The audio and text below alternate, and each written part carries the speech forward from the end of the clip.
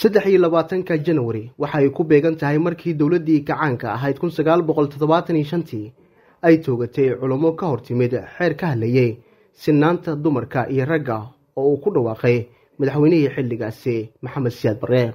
Arrintaasi iyo in dowladda soomaaliya ay raaligelin ka bixiso maadaama dowlad soomaaliyeed ay dishay culummadaasi ayaa waxaa lagu soo hadal qaaday shirka culimmada soomaaliyeed oo maanta ka furmay magaalada muqdisho. Madaxweynaha jamhuuriyadda federaalk ee soomaaliya ayaa isagu waxa uu dah furay shirka culimmada soomaaliyeed oo looga hadlayay mideynta culimmada. Shirkan ayaa waxaa ka soo qayb galay culimaa uddiin ka kala yimid dalka gudihiisa iyo dibaddiisa wasiiro xildhibaano iyo sidoo kale marti sharaf. Ugu horeyn shirka ayaa waxaa ka hadlay qaar ka mid a culimmada soomaaliyeed oo ku dheeraaday ka hadalka mashaakilka ka aloosan dalka iyo doorka culimmada. Iyo dowladnimada soomaaliya ka dhex qarxay dowladnimo soomaalidu ay leedahay iyo diinteedii maalintii dagaalkii uu qarxay weyaan waa maalintii culimmada la laayay. Saddex labaatanka loo astay si ku talagal ah si macnahaas loo nooleeyo oo loo xuso oo looga toobad keeno oo dhibaatadii ka dhalatay loo xaliyo ayaa loogu asteeyey fikraddaas dabcan waana hal abuurka madaxweynaha. Caqiidada nagala galay haddii aanu saxno oo fikirkaas hadda walaalkay sheekh bashiir khayr alhasi waa in laga tooba keenaa maalintii culimmadii soomaaliyeed la laayay sax. Weliba saacatu tooba in la dugo. Sheekha waa ku waafaqsana. Makaankii in la tago waa ku waafaqsana. Khayr badan allah siiyo. Waxaa saasoo kale anuuna soo jeedihayaa oon ku darayaa mabda'an dadki keena waa inay tooba keenaan. Wasiirka arrimaha diinta iyo awqaafta xukuumadda federaalk ee soomaaliya sheekh mukhtaar roobo cali abuumansuur ayaa dhankiisa ka hadlay kulanka.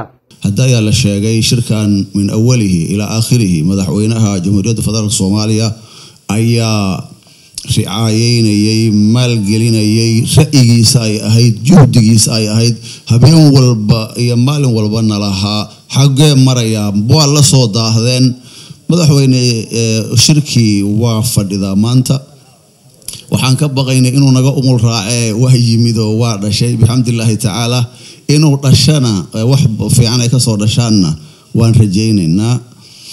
Culummada aad baan ugu mahad celinaynaa madaxweynahana juhdiguu galay waan isaguna uga mahad celinaynaa ilaahay ha barakeeyo runtii ra'yigaas isagaa laha waxaan is leeyahay waad ogtihiinoo saaka waqti horaa la yimid.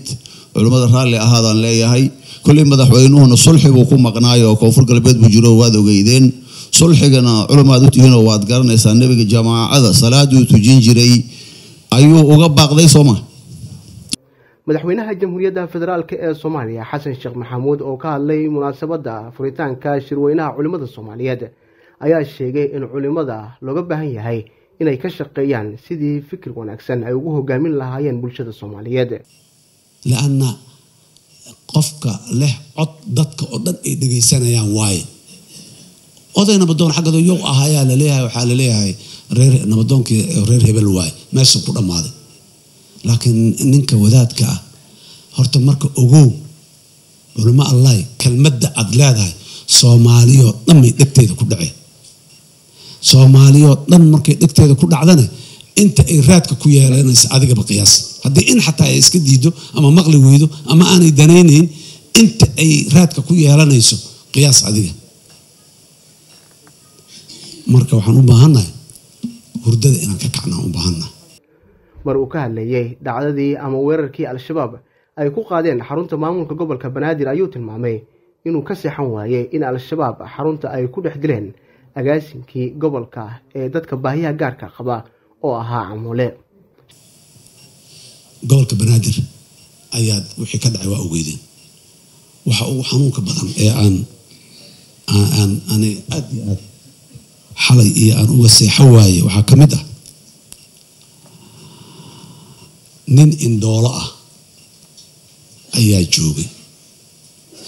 Bug markii qaraxii dhacay waa la kala cararay qof walba meeshuu aadi karo walxa kaaga badnaa sida wadaadkii indhoolkaa xaggee aadaya meeluu aaduu garan waayo inta u dhaqaaq dirbi inta u dhaqaaq albaab kale inta u dhaqaaq meeshii ugu yimida waa dileen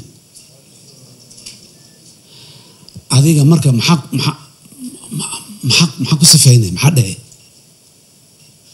maxaa dhehe yacni ninkaas qofka oo yacni ay caatifo yar oo naxariis u geli weyday. Waa indhool meeluu ka baxo waaye. Waa carari lahaa. Meeshii nafi gaarsiisaba. Dabcan waa dhima lahayo maalintiis laakiin asagoo cararayo dhima lahaa kuwa badan ayagoo cararaya dhintay. Meel walba. Nimanka meeshaas jooga. Ninka ka cabsanayo cabsidaadu meel ma leh. Shirkan ayaa lagu wadaa in laga soo saaro warmurtiyeed ku aadan waxyaabaha looga hadlo iyo in culimmada soomaaliyeed ay ku midoobaan gole ay u dhan yihiin. Zakariya axmed muuse t v-ga shabeelle muqdisho